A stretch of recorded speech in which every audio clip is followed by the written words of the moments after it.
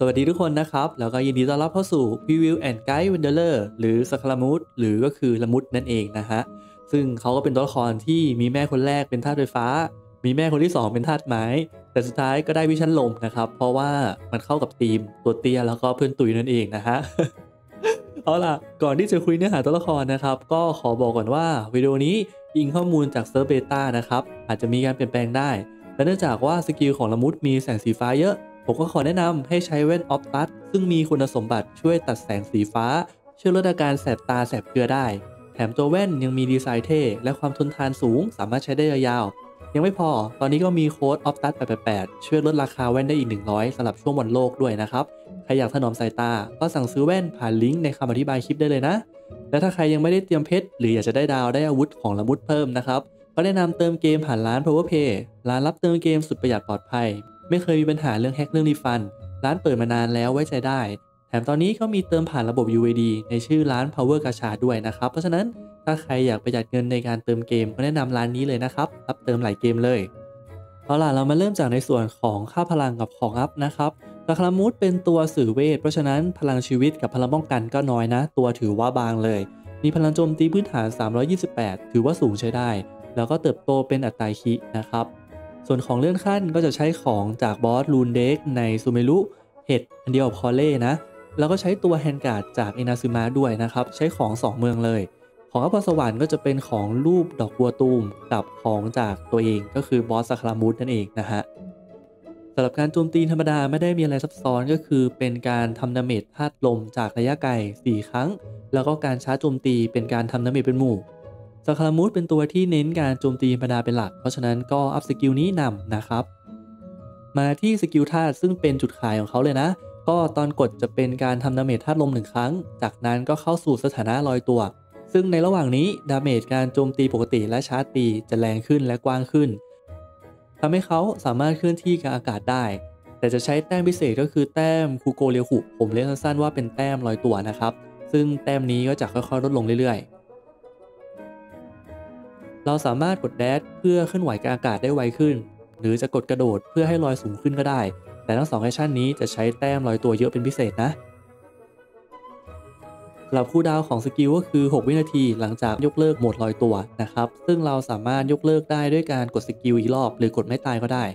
buff damage การตีธรรมดาก็คือแรงขึ้น 1.54 เท่านะครับ อันนี้ถือว่าเยอะมาก ส่วนแต้มลอยตัวสูงสุดพื้นฐานก็จะอยู่ที่ 100 หน่วยนะครับ พรสวรรค์เลื่อนขั้นหนึ่งจะเล่นกับ skill ธาตุก็คือ หาก damage ตอนเรากด skill ธาตุเกิดการสัมผัสธาตุนะครับ ไอเดียก็น่าจะเป็นเหมือนการกระจายนั่นแหละ ก็จะทำให้ตัว Scaramouche ได้ buff ตามธาตุที่สัมผัสสูงสุด2ธาตุพร้อมกัน ก็ถ้าเราสัมผัสธาตุไฟจะเพิ่มโจมตี ถ้าเป็นธาตุน้ำจะเพิ่มแต้มลอยตัวสูงสุด 20 หน่วยธาตุน้ำแข็งเพิ่มอัตราคี20%แล้วก็ธาตุไฟฟ้าจะช่วยฟื้นพลังงานธาตุ0.8 หน่วย เมื่อโจมตีธรรมดาหรือชาร์จโจมตีถูกศัตรู โดยมีคูดาว 0.2 วิต่อครั้งนะฮะ ก็ทำให้สักคารามูดมีลูกเล่นในการจัดทีมในการผสมธาตุมากขึ้นนิดหนึ่งนั่นเอง มาที่ไม้ตายสคารามูดนะครับ ก็คือเป็นการเหยียบจอนะฮะ ใครที่อยากโดนเหยียบก็ได้โดนเหยียบแล้วนะครับ ซึ่งจะเป็นการทำ damage ธาตุลมเป็นหมู่ 5 ครั้ง ถ้าเกิดว่าใช้ขณะลอยตัวอยู่ ก็จะยกเลิกสถานะลอยตัวทันที damage ก็ถือว่าค่อนข้างแรงนะครับ ที่เลเวล10 ตัวคูณรวมๆก็ 1,300 กว่าเปอร์เซ็นต์เลย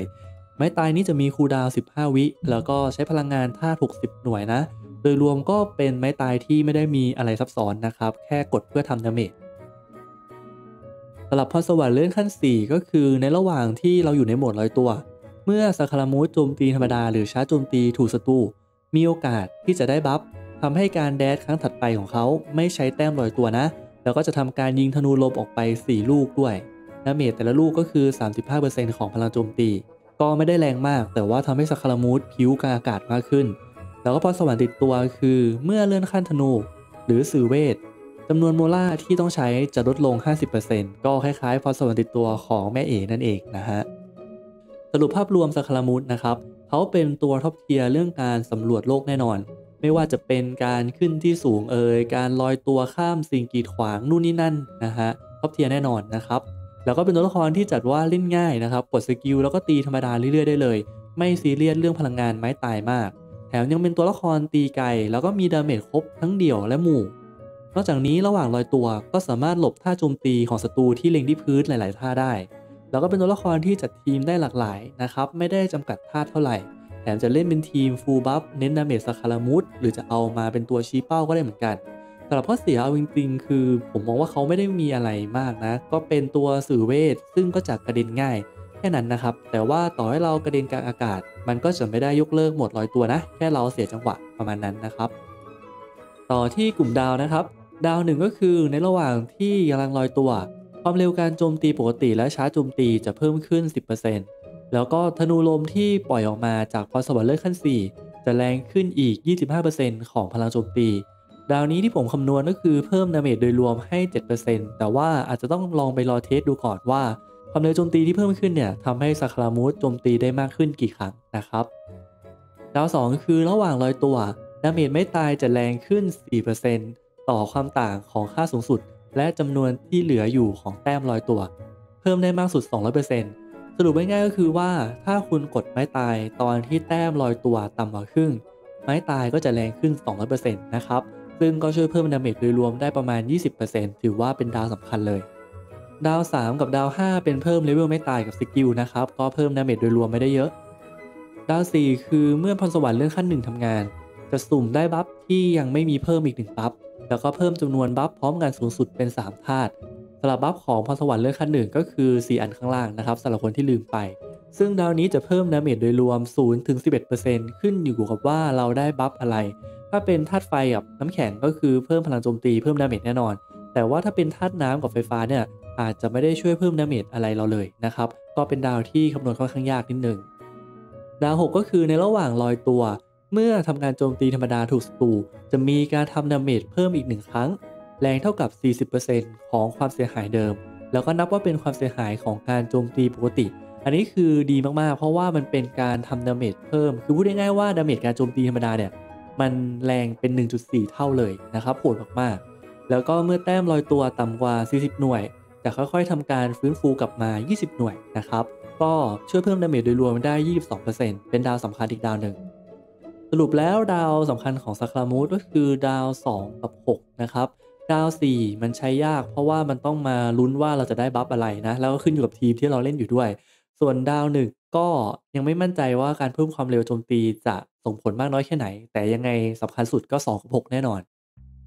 สำหรับอาวุธที่น่าสนใจของละมุดจะมีอยู่ประมาณ 5 อันนะครับ อันแรกก็คือตัวอาวุธประจำตัวกระดิ่งนั่นเอง ก็จะให้เบสโจมตีสูง แล้วก็ให้เป็นความแรงคิความสามารถก็คือเพิ่มความเร็วของการโจมตีปกติ 10%อันนี้ถือว่าดีมาก เพราะว่าบัฟอันนี้มันหายาก แล้วก็ภายใน 14 วินาที หลังจากใช้สกิลธาตุในทุก 1 วิ การโจมตีปกติจะสร้างความเสียหายเพิ่มขึ้น 4.8%และหลังจากโจมตีปกติถูกศัตรู การโจมตีปกติจะสร้างความเสียหายเพิ่มขึ้นอีก 9.6%นะครับ ไอเดียก็คือว่าหลังจากเราใช้สกิลธาตุไปแล้วเนี่ย damage ของการโจมตีปกติของเรา มันจะค่อยๆ เพิ่มขึ้นเรื่อยๆ นะครับ ทั้งตัว 4.8 แล้วก็ 9.6 เนี่ย สุดท้ายแล้วมันจะเอามารวมกัน แล้วมันก็จะมี limit การเพิ่มได้สูงสุดที่ 48%นะ เพราะฉะนั้นเวลาใช้จริงเนี่ยเรากดสกิลแล้วก็ตีเรื่อยๆประมาณ2-3วิ เราก็ได้ buff เต็มแล้วนะครับออกแบบมาเพื่อตัวตีธรรมดาอย่าง Scaramouche นั่นเอง อันที่ 2 คือ Memory of เกลือหรือ Memory of Dust นั่นเองนะครับก็เป็นอาวุธที่ให้พลังโจมตีเยอะมาก ช่วยเพิ่มความหนาโล่แล้วก็หลังจากโจมตีถูกศัตรูจะได้ buff พลังโจมตีเพิ่ม ซ้อนได้ 5 ครั้ง และการ buff พลังโจมตีจะเพิ่มเป็น 2 เท่า ถ้าเรามีโล่ นะครับก็เป็นอาวุธที่ให้พลังโจมตีเยอะนั่นแหละ ถ้าเกิดว่าคุณไม่ได้เอาละมุดไปเล่นกับเบนเน็ตอาวุธชิ้นนี้ก็ถือว่าโอเคมากๆเลย ชิ้นที่ 3 คือ Lost Prayer นะครับก็ให้เป็นอัตราคิซึ่งดีมาก แล้วก็มี buff โบนัสความเสียหายธาตุทุก ๆ 4 วินาที ซึ่งตัวของ Scaramouche เนี่ยเขาจะอยู่ในสนามราวๆ 10ถึง12 วิอยู่แล้ว ก็สามารถใช้ buff จากสมุดอันนี้ได้เฉลี่ยว่าประมาณ 2-3ครั้งก็ถือว่าไม่แย่เลย อันที่ 4 คือ Solar Pearl ก็ให้เป็นอัตราคิถือว่าดีมาก แล้วก็ภายใน 6 วินาที หลังจากที่การโจมตีปกติถูกเป้าหมาย ความเสียหายของสกิลธาตุและไม้ตายจะเพิ่มขึ้น 20%ก็เอาไว้ buff damage ไม้ตายได้ และภายใน 6 วินาที หลังจากสกิลธาตุหรือไม้ตายถูกศัตรูความเสียหายของการโจมตีปกติจะเพิ่มขึ้น 20%อันนี้ก็ถือว่าดีเพิ่ม damage การโจมตีธรรมดา แต่ระยะเวลาของ buff มันจะอยู่แค่ 6 วิไม่ได้แสดงผลตลอดนะครับ สุดท้ายคือ The Widsith นะฮะ ถ้าเป็นตัว damage สื่อเวทยังไงก็ใช้อันนี้ได้ ก็ให้เป็นความแรงคิ แล้วก็ตัวสุ่ม buff ไม่ว่าจะเป็นโจมตีความเสียหายธาตุหรือชำนาญธาตุก็ถือว่ามีประโยชน์กับ Scaramouche หมดเลย มาดู tier อาวุธจะมีทั้งหมด 2 tier นะครับ อันนี้จะเป็นเวอร์ชั่นที่ไม่มีเบนเน็ตก็คือไม่มี buff พลังโจมตีนะก็จะเห็นว่าอาวุธที่ให้พลังโจมตีอย่างตัว Memory of Dust แล้วก็ Skyward Atlas จัดว่าไม่ได้แย่เลย ส่วนถ้าเป็นเวอร์ชันมีเบนเน็ตนะครับอาวุธที่ให้พลังโจมตีก็จะ drop ลง แล้วก็อาวุธที่ให้อัตราคิความแรงคิก็จะขยับขึ้นมานะ อันนี้ก็เป็นไอเดียนะครับ ถ้าใครอยากจะดูแบบละเอียดก็รบกวนหยุดวิดีโอดูนะ ส่วนคำถามว่าระหว่างดาวกับอาวุธเปิดอะไรดี จริง ๆ แล้วอาวุธของละมุดก็ถือว่าไม่แย่ แต่ผมเชียร์เปิดดาวมากกว่า เพราะว่าคุณจะได้เปิดหาดาวของฟารุซันไปด้วยนะครับ ฟารุซันเป็นตัวที่คอมโบกับตัวละมุดได้ดีมากๆ แล้วตัวเขาต้องการกลุ่มดาวค่อนข้างเยอะ เพราะฉะนั้นก็เชียร์เปิดหาดาวทั้งฟารุซันและละมุดพร้อมกันไปเลยนะสำหรับ artifact ก็จะมีเป็นเซตใหม่สำหรับ Scaramouche โดยเฉพาะนะครับ เป็นเซต Desert Pavilionก็เซตนี้จะให้โบนัสความเสียหายลม 15%แล้วก็หลังจากที่การชาร์จโจมตีถูกศัตรูเซตนี้ 2 ชิ้นจะให้โบนัสลม 15%ส่วน 4 ชิ้นก็คือหลังจากที่การชาร์จโจมตีถูกศัตรู ความเร็วการโจมตีปกติของตัวละครจะเพิ่มขึ้น 10%แน่นอนว่านี้ดีมาก แล้วก็การโจมตีปกติ ช้าโจมตี และการพุ่งโจมตีจากอากาศ จะสร้างความเสียหายเพิ่มขึ้น 40%เป็นเวลา 15 วิด้วย ก็ perfect กับ Scaramouche นะครับ จริง ๆ เซตนี้คิดว่าอาจจะมีตัวละครใช้ได้หลายตัวเลยก็ได้ ส่วน damage ของแต่ละเซตนะครับ เซต Desert เป็น 100%มาตรฐานแรงสุด ตัวชิเมนาวะนะครับจะมีเรื่องการดูดพลังงานไม้ตาย ที่ผมคำนวณก็คือว่าถ้าคุณสามารถฟื้นพลังงานไม้ตายมา ให้กดไม้ตายได้ทุกรอบคอมโบเหมือนเดิมเนี่ย damage ของเขาก็จะน้อยกว่าเซตประจำตัวแค่ 4%ก็ถือว่าเป็น choice ที่ดีสำหรับคนที่ฟาร์มเอาไว้แล้ว ส่วนเซตสี่ลมทำ damage ได้ประมาณ 83%แต่ตรงนี้ผมไม่ได้คำนวณ damage การกระจายนะ ผมคิดว่าถ้าเราเจอ mon เป็นหมู่เนี่ย damage ก็อาจจะดีขึ้นมานิดนึง แล้วก็ถ้าในทีมของคุณมีตัวละครที่สามารถใช้ประโยชน์จากการลดต้านทานธาตุได้เยอะ เซตนี้ก็ถือว่าเป็นทางเลือกที่โอเคนะครับ แล้วก็พวกเซตผสมของโบนัสลมกับพลังโจมตีก็อยู่ประมาณ 90-85%นะ ในส่วนของค่าพลังนะครับ นาฬิกาก็ใช้เป็นโจมตี ถ้วยก็เป็นโบนัสลม ถ้ายังไม่มีก็ใช้โจมตีไปก่อนก็ได้ แล้วก็หมวกเป็นอัตราคิหรือความแรงคินะครับ ปั้นเหมือนตัว damage ทั่วไปเลย ซึ่ง op รองก็จะเน้นพวกอัตราคิความแรงคิเป็นหลัก ตามด้วยพลังโจมตี กับค่าฟื้นพลังงานพอให้กดไม้ตายได้ทุกรอบ ก็ อาจจะต้องการไม่เยอะถ้าเราเล่นเป็นทีม 2 ลม ตีว่าประมาณ 110ถึง130%ก็น่าจะพอแล้ว แล้วก็สุดท้ายเป็นชำนาญธาตุมาช่วยเพิ่ม damage นิดหน่อย ในส่วนของทีมนะครับพูดตรงๆว่ามันเยอะมากๆนะฮะเราสามารถเอาสคารามูชไปเล่นกับตัวธาตุไหนก็ได้ ไม่ได้ fix ตายตัว แล้วก็เราจะแบ่งตัวคอมโบเป็น 3 ประเภทหลักๆนะครับก็คือตัว buff ตัว heal โล่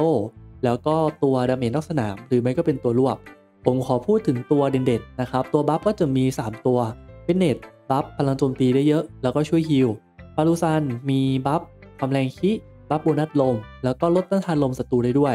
ยุนจินก็จะ buff damage การโจมตีธรรมดา แล้วก็มีเพิ่มความเร็วการโจมตี ทั้ง 3 ตัวนี้เรียกได้ว่าเป็นตัวท็อปของการ buff damage ผมจะขึ้นภาพเป็นไอเดียให้ดูนะครับฟารูซันที่ดาว 6 จะ buff damage ได้มากที่สุดเลย แล้วก็ตามด้วยเบนเน็ตจากนั้นก็เป็นยุนจิน แต่เราก็สามารถเอาทั้ง 3 ตัวมาเล่นด้วยกันได้นะสำหรับตัวโล่จงหลีก็แน่นอนว่าโล่หนากันกระเด็น แล้วก็มีลดต้านทานลมด้วยโทมาเองก็ช่วยกันกระเด็นได้ แล้วก็สามารถ buff damage การโจมตีธรรมดา ช่วยแปะไฟก็ได้ด้วยเช่นกันจีนถ้าเกิดว่าคุณมีดาว 2 ก็มีเพิ่มความเร็วการโจมตี และดาว 4 ก็มีลดต้านทานลมนะครับส่วนตัว damage นอกสนามเอาจริงๆนะคือมันไปได้แทบจะหมดนะครับซิงชิวก็มีการกระเด็น เย่หลันมี buff damage ตัวรวบก็เอามาเล่นได้ อย่างที่ผมคิดว่าจะลองเล่นดูขำๆก็คือเป็น 3 ลม1ไฟนะ ก็คือสคารามูดฟารูซัน เบนเนตแล้วก็คาซึฮะ สายคิ เพราะว่าในทีมนี้เรามีทั้งเบนเนตแล้วก็ฟารูซันมาบัฟตัวดาเมจให้ ก็น่าลองดูนะฮะ หรือคุณจะเล่นกับตัวธาตุอื่น เป็นไฟฟ้า เป็นน้ำแข็ง จะเล่นเป็นทีมชี้เป้านะครับ ทีมเทเซอร์สคารามูสซิงชิลฟิตเปิดโถ แล้วให้สคารามูสถือโปรโตไทป์เพื่อไม่คิว เอาจริงๆ มันก็ได้นะฮะเพราะฉะนั้นพูดตรงๆว่าทีมสคารามูชนี่คือ แล้วแต่ว่าคุณอยากจะจัดเลยนะครับ ขอแค่ให้มีตัวคิวหรือโล่สักหนึ่งตัว แล้วอีก 2 ตัวคุณจะเอาตัว buff มาเพิ่ม หรือจะเอาตัว damage นอกสนามมาช่วยเสริมก็ได้หมดเลย ตัวอย่างทีมเพิ่มเติมนะครับ จาก 3 ทีมข้างบนพูดไปแล้ว ก็มาเป็นทีมอย่าง3แม่1ลูกนะฮะเผื่อว่าใครอยากจะเอาไรเดนนาฮิดะนะครับสองแม่มาเล่นคู่กับสักคารามุสเนี่ย เราก็สามารถเพิ่มตัวธาตุน้ำไปตัวหนึ่งแล้วก็กลายเป็นทีมไรเดน Hyperbloom ก็ได้นะครับ ซึ่งตัว heal ก็อาจจะใช้เป็นนาฮิดะถือ Prototype หรือเป็นละมุดถือ Prototype ก็ได้เช่นกัน ทีม 2 หินบินได้นะฮะก็คือ 2 ลม 2 หินนั่นแหละ ก็เหมือนเอาจงหลี่มาช่วยกันกระเด็น แล้วก็ช่วยฟื้นพลังงานให้ยุนจินให้ buff ได้ง่าย ๆ ด้วยนะครับทีมละมุดแช่เย็นก็ละมุดฟีดนะฮะไม่ได้มีอะไรซับซ้อนนะครับเอาตัวน้ำกับน้ำแข็งมา ขอให้มีตัว heal สักตัวหนึ่งแล้วกัน ละมุด Nation ถามว่าเล่นได้ไหม ผมมองว่ามันก็เล่นได้นะฮะละมุดอาจจะไม่ได้มา support ทีมนี้อะไรเป็นพิเศษเหมือนอย่างตัวอะไรเดน แต่ว่ามันก็โอเคถ้าคุณอยากจะเล่นนะครับ หรืออาจจะเป็นทีมอินดี้เล่นเป็นสี่ลมไปเลยก็ได้ ยังไงฟารูซันเนี่ยเขาก็ buff damage ธาตุลมได้ทั้งทีมอยู่แล้วนะฮะก็เอามาเล่นมันๆเพลินๆไปเลย สรุปภาพรวมจากข้อมูลที่มีนะครับสคารามูชถือว่าเป็นตัวที่เหมาะกับมือใหม่มากๆ เพราะว่าเป็นตัวละครที่เล่นง่าย จัดทีมได้หลากหลาย แล้วก็เอาไว้สำรวจโลกได้ดีส่วนสำหรับคนที่อยากจะลง Abyss สคารามูชเองก็เป็น choice ที่โอเคเหมือนกัน เพราะว่าเขาจัดทีมได้เยอะ แล้วเขาก็ไม่ได้มีจุดอ่อนอะไรมาก คือศัตรูมาเดี่ยวเขาก็สู้ได้ มาเป็นหมู่ก็สู้ได้ศัตรูลอยหรือยืนไกลเว้นไปเว้นมายังไงเขาก็ตีได้